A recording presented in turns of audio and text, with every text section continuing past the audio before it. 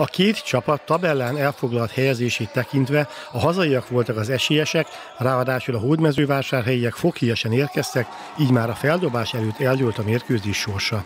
Az első negyedet 24 ponttal nyerte a Sunshine Nyikse, a második 10 percben pedig újabb 31 pontot tett hozzá előnyéhez Kovács Tibor együttese. A nagy szünet után sem változott a játék képe, a hazaiaknál a fiatalok is sok lehetőséget kaptak, és végül 72 pontos nyíregyházi sikerrel zárult a meccs körülmények közötti edzési változó találkozó.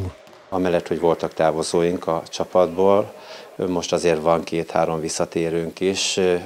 Hagy említsem meg egy belga nemzetiségi fiatalembert, aki a munkahelye, illetve a családi kötődése Nyíregyházára kötődik, és nagy örömünkre megtaláltuk őt, és úgy látjuk, hogy ő is megtalált itt a számítását.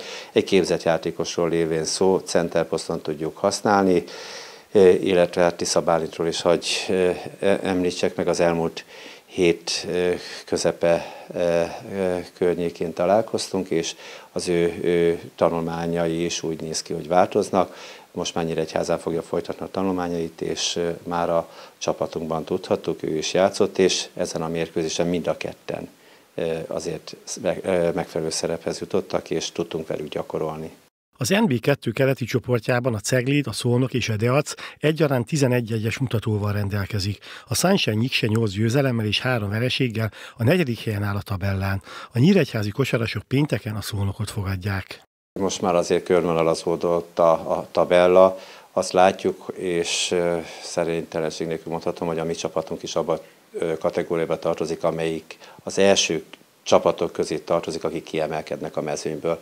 Itt mondhatok négy csapatot, a Debrecen, a Szolnok, a Cegléd és a mi csapatunkat is.